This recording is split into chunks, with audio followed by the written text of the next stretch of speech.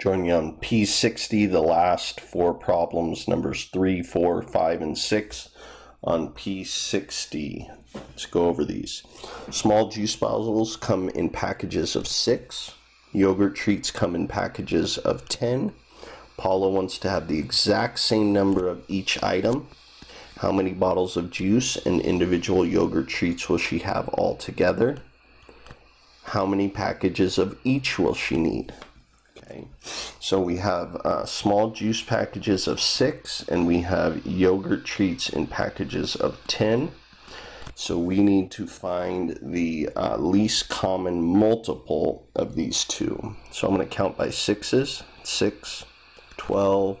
These represents the uh, the packages. So I buy one package, I have six bottles. I buy two packages, I have 12. I buy three, I get 18. 24, 30, okay? 10, 20, 30. So Paula wants to have the exact same number of each item. How many bottles of juice and individual yogurt treats will she have altogether? Well, she'll have 30, uh, and these are the juices. And she'll have 30 of the uh, yogurts. So that's a total. How many bottles of juice and individual will she have altogether? She'll have 60 altogether.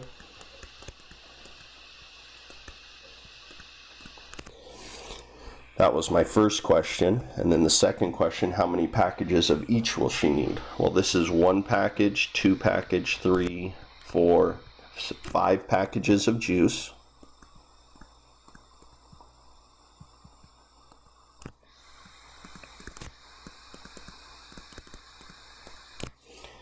Sorry about that.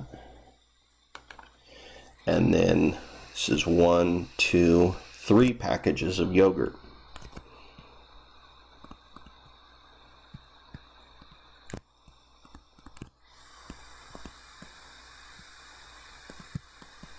All right, let's go on to number four.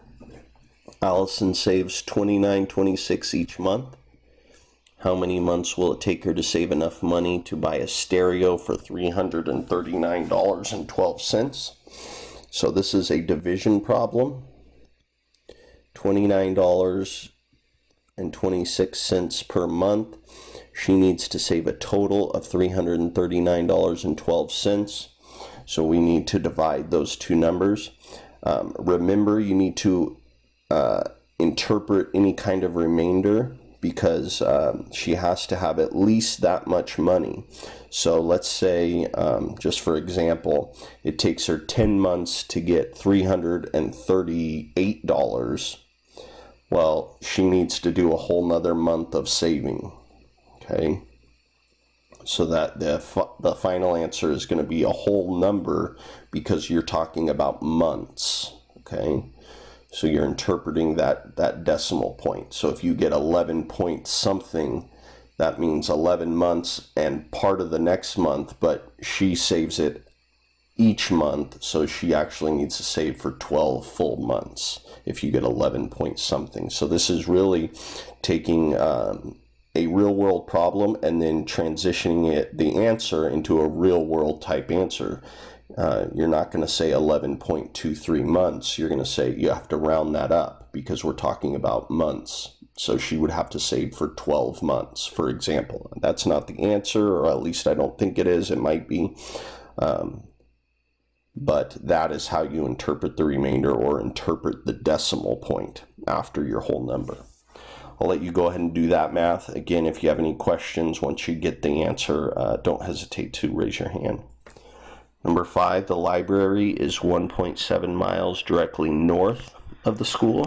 So north would be, uh, if we're looking thinking about a map, it would be up on the map. Uh, the park is 0.6 miles directly south of the school, so they are opposite locations. How far is the library from the park? So the library, let's say we start at zero, would be our origin. It's north 1.75 and the park is south 0.6 so you need to find the total distance and if you're finding total that means you need to add those two distances up Okay, I'll let you go ahead and do that math. Number six, tours of the art museum are offered every one third hour starting at 10 a.m. The museum closes at 4 p.m. How many tours are offered each day? so every third of an hour, that means every hour, every one hour. Uh, so if we're dealing with thirds, how many thirds do we need to get one whole hour? Well, one third plus one third plus one third, that would be three thirds or one whole hour. So now you need to find out how many hours from 10 a.m. to 4 p.m. How many hours would that be? And then each one of those hours is going to have three thirds in it. So you're going to multiply that. How many hours you have